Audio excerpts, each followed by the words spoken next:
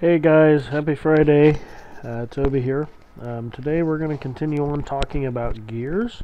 So up until this point we have only really talked about simple gears. And what I mean by simple gears is where we only have one drive and one driven.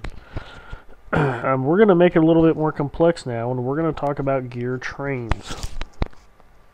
So gear trains are when more than one set of gears are connected. So we see this a lot of times. Uh, transmissions are a classic example of gear trains. Um, pretty much every gear in a manual or automatic transmission is set up of more than one set of gears. so the important thing about a gear train is that to define the ratio of a gear train, we have to find the ratio for each individual set of gears, and then we have to multiply them together. So here's an example of a gear train or a complex gear setup. So we can see that we have gear A, which is this big gear, which is connected to the small gear, which is gear B, and that gear is physically connected to gear C, which is this larger gear on the outside, and that is the drive gear for gear D. So we can tell that the uh, gear A is spinning eh, somewhat fixed, I mean, uh, somewhat fast, and we can definitely see that gear B is spinning faster than gear A is. Um, and then we can also tell that by the arrows, gear C is actually spinning the same rotational speed as gear B. But then we can finally see gear D here is spinning really, really fast. So that is our, our gear reduction that we have uh, which means this is an underdrive setup, which means the output is spinning slower but has more torque. Okay, so to calculate this, it's really going to be pretty similar to what we would do with just a simple gear setup. We just have to do that calculation twice. so this here is a pretty good example of a transmission. Um, if you were to look at a transmission power flow, this is kind of what we're going to see. So we have our input shaft from the engine and a gear. And then that gear connects to this gear on what's called the lay shaft or the main shaft.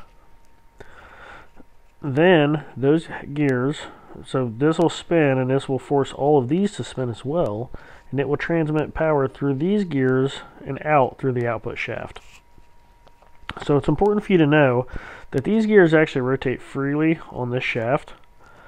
And this component here, when we shift into fifth gear, it comes over and it actually locks this gear to the shaft.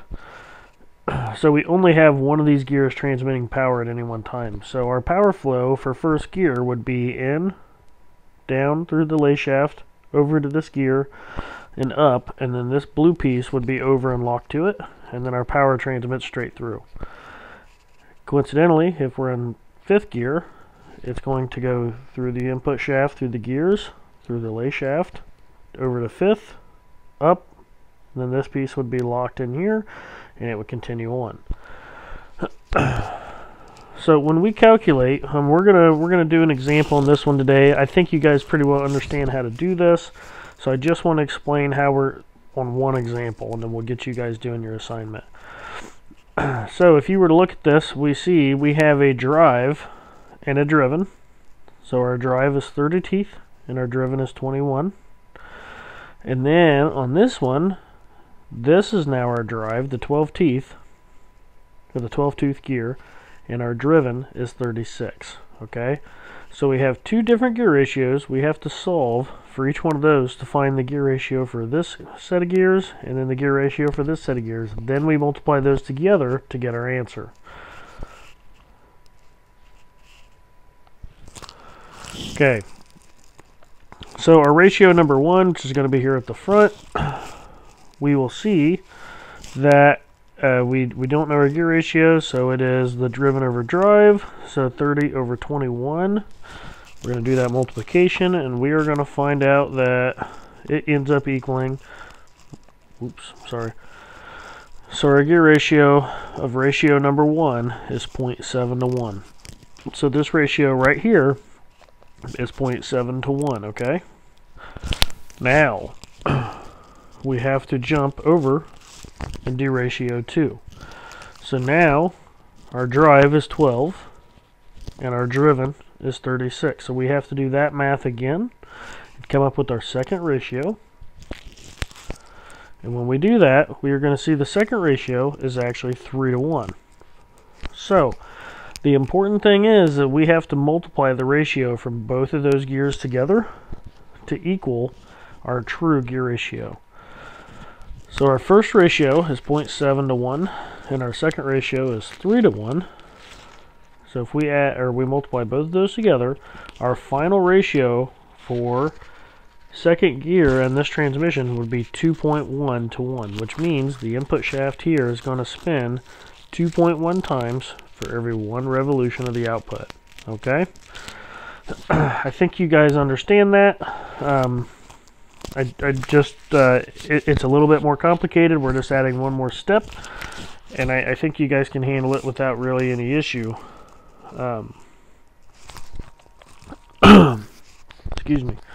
So we are actually going to do this and we're going to find the gear ratios of an entire transmission on our assignment today. So I know you guys said you liked the Microsoft Forms and the way we did it. I do want to try another worksheet. I think I have figured out the issues, what's going on.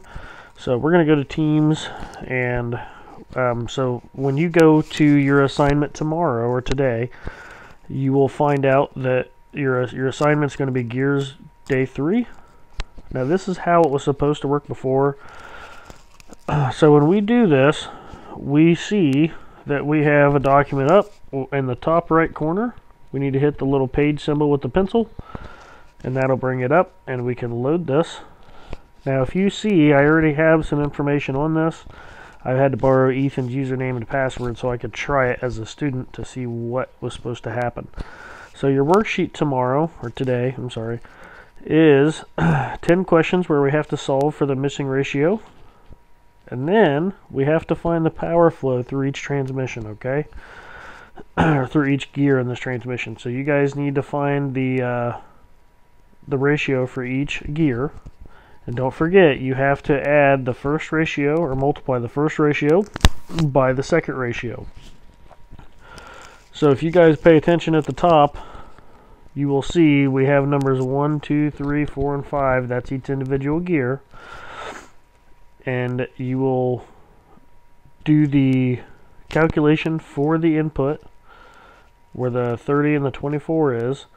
And then you have to do the second calculation. Just remember, and let's go back to the PowerPoint where I can point at this.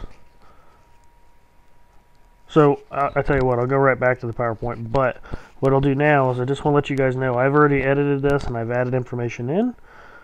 When you are done, all you have to do is hit the back button in the top left corner.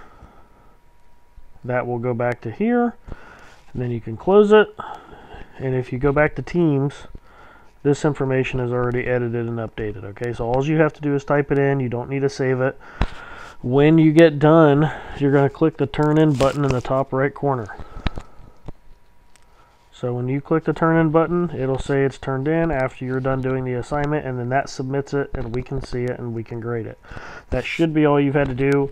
The reason we ran into such a problem with the previous one is because apparently that was an older file format and that causes all kinds of problems with Microsoft Teams that I did not know about. Okay, so we're going to go back to our PowerPoint really quick and then we'll be done.